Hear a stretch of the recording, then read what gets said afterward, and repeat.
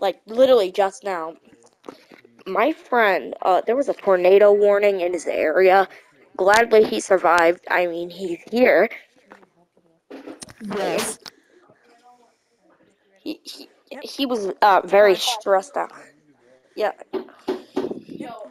I was I was I was checking all the live streams, all the tornadoes, place all the place. I, I was gonna see if it was like really close to him or not very close to him. Even though my, no, my mom it was. Okay, Come so on, Sky. Sky. Sky. okay, yeah, it's good. So uh, yeah, that was an intense day.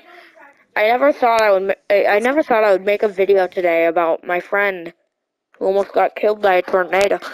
Anyway, goodbye.